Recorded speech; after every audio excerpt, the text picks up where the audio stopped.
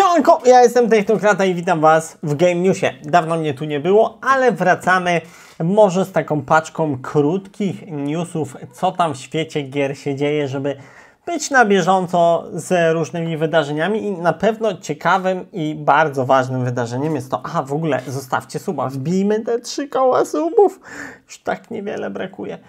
E, Polacy zostali wicemistrzami świata w FIFA 2022. E, w ogóle no, jest, to, jest to sukces, który można byłoby w, w teorii zbagatelizować tak na pierwszy rzut oka. No, w FIFA tak, w FIFA i w grze, w którą gra e, miliony, o ile nie, znaczy na pewno dziesiątki, o ile nie setki milionów e, ludzi, fanów piłki nożnej na całym świecie, tak? I FIFA jest zdecydowanie jedną z najpopularniejszych serii gier na świecie. I no, nie wiem czy najpopularniejszą, ale wydaje mi się, że i top 5 na spokojnie. E, no i jeżeli chodzi o e-sport, też bardzo, bardzo dużo właśnie osób gra w FIFA e-sportowo. No i w tym Polacy. Mm, nie wiem, powiem Wam szczerze, na ile utworzenie e, tej, tej, na ile ta drużyna w ogóle ma cokolwiek wspólnego z tą narodową drużyną e, ustanowioną przez Dudę, znaczy przez, to, przez Dudę, on tam nic nie miał do roboty, przyszli do niego ludzie i powiedzieli weź zrób taką akcję marketingową, będzie to spoko wyglądać. Dajcie znać, jeżeli się orientujecie, czy to jest to samo, czy to jest po prostu jakaś zupełnie inna inicjatywa. Natomiast e, niewątpliwe jest to, że taki sukces jest bardzo fajną rzeczą. Wiecie co, jest masę gier. Wyobraźcie sobie, jakby polska drużyna na przykład zajęła drugie, e, drugie miejsce na jakimś majorze w CSGO. E, zajęła drugie miejsce, znaczy to już ciężko tutaj o typowo polską drużynę, bo to nie są raczej drużyny narodowe, nawet w CS-ie, a teraz chciałem powiedzieć o LoLu, ale załóżmy Polak, a w sumie Janko zajął drugie miejsce na Mistrzostwach Świata. Tylko, że to nie było w jakiejś super kategorii sukcesu wtedy rozpatrywane, bo, bo, bo, bo tam były apetyty na Mistrzostwo e, Świata w Paryżu. Ojej, oglądałem ten finał. A wcześniej jeszcze, jak, zanim oglądałem ten finał w Paryżu, mm, byłem w Atenach na finale Leca, jak Jankos wygrywał i, i odbierał e, statułkę MVP. Bardzo fajna sprawa. Natomiast fakt faktem jest taki, że tytuły sportowe cieszą się potężnym zainteresowaniem, a to tak naprawdę zainteresowanie, ilość widowni generuje mm, no, skalę sukcesu, jaką się odnosi, zajmując drugie, pierwsze, trzecie, dziesiąte miejsce w jakimkolwiek turnieju, tak? Mm, czy zawodach, czy czymś tego pokroju. I moim zdaniem, e, patrząc na ilość fanów FIFA, drugie miejsce jest niewątpliwie sukcesem.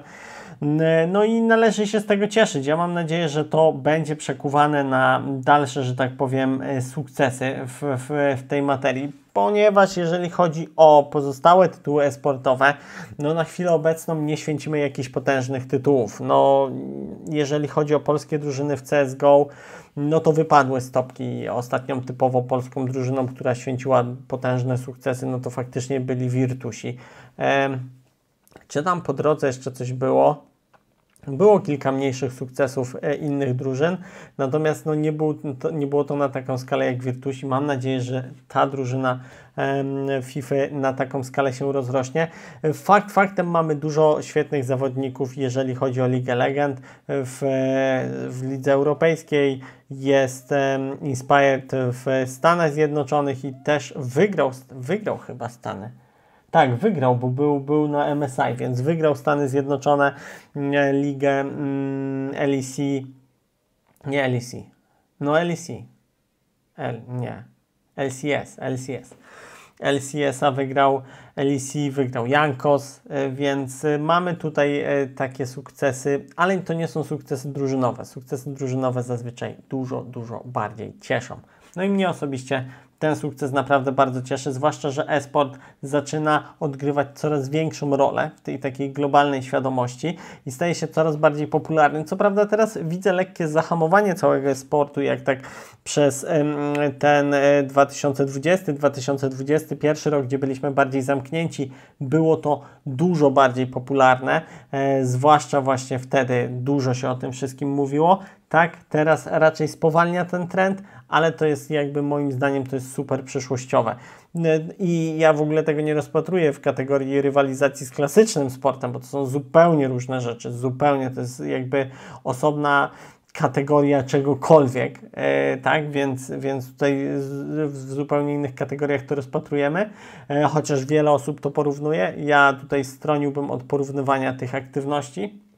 Natomiast e, taka wspólna cecha jak kibicowanie, jak emocje, czyli te takie najważniejsze rzeczy, które łączą, łączą to wszystko, to są tutaj identyczne. Tak, to tak samo cieszymy się e, z, ze strzelonego gola w FIFA. Patrzcie, jak chłopaki tutaj się cieszyły ze strzelonego gola w FIFA. Cyk, nie? I, i cała sala też razem z nimi, więc to jest, to jest identyczne. W sensie te emocje są tak samo prawdziwe. Tak samo prawdziwe są, jak ja oglądam akcje w LoLu, e, czy, czy CS-a, jak byłem teraz na Jemie. Naprawdę, ja y, w CS-ie nie byłem już od ładnych kilku lat na bieżąco, ale jak usiadłem na tej arenie, zobaczyłem tą atmosferę, poczułem to wszystko, to to jest niesamowite. I te rzeczy będą coraz, coraz mocniejsze i coraz częściej będziemy widywać coś takiego w globalnej świadomości, w telewizji, w tym takim mainstreamie typowym. I fajnie, żeby takie sukcesy były już na stałe wpisane, żeby Polska na stałe była w, tym, w tej topce drużyn, które właśnie w e-sporcie się pokazują. To bym, tego bym sobie życzył, bo Dzisiaj mało kto pamięta, że mamy mistrza świata Polaka, mistrza świata Szuszeja w Lidze Legend. Natomiast to, był, to były pierwsze Mistrzostwa Świata i nikt tego nie bierze już w tym momencie.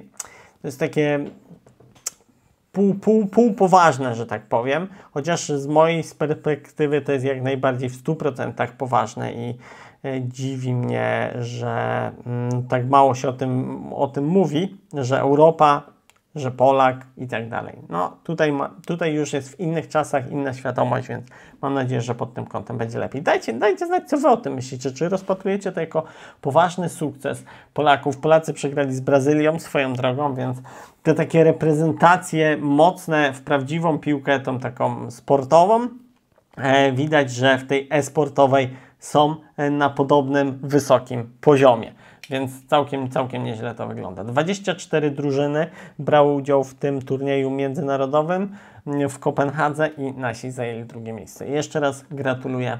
A Wam za dzisiaj dziękuję. Zostawcie suba, napiszcie co myślicie o, o, o tym, czy to jest potężny sukces i należy się z tego cieszyć, czy raczej Was e-sport jakikolwiek w ogóle nie interesuje. Ja Wam za dzisiaj bardzo dziękuję. Standardowo życzę miłego dnia, wieczór, nocy i widzimy się oczywiście jutro E, no, może jutro nie, ale czemu by nie? Widzimy się w kolejnym filmie. Z przyzwyczajenia mówię, że jutro, bo na głównym kanale jest codziennie i tam zawsze mówię, że jutro.